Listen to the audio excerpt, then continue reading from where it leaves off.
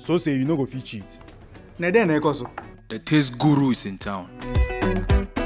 The beans in this waakye was soaked for 24 hours in a dark room in Nima. This rice was sourced from Abeime. This goat now was chewing waakye leaves when it was caught.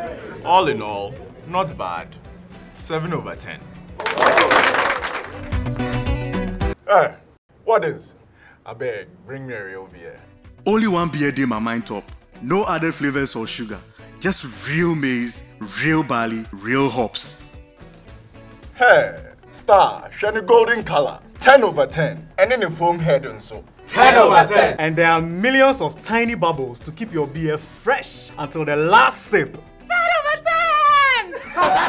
I've tasted different kinds of beer around the world, but start there, and it tasted near 10 over 10. Wouldn't himself once away at 10 over 10. Oh, tastes good. Scheiße.